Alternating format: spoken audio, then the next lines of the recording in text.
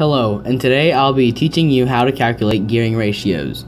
If you like this video, please like and subscribe. If you have any following questions after this video, leave them in the comments below. If you do not have a great amount of knowledge on gearing, please click the link above. The first thing you need to know about gearing is the gearing formula. It is GR, which is gearing ratio, equals the number of teeth on the output gear divided by the number of teeth on the input gear. This formula works for all gearing ratios. Next, you need to identify your input and output gears and the teeth count of the two.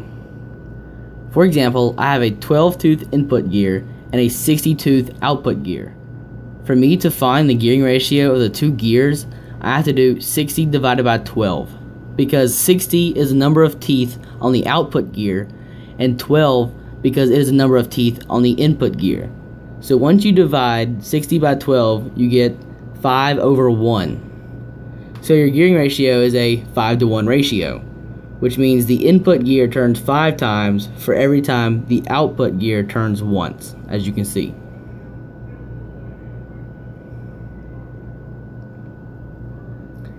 Alright, thank you for watching this video, and please like and subscribe. If you have any following questions after this video, leave them in the comments below. Thank you, and peace out.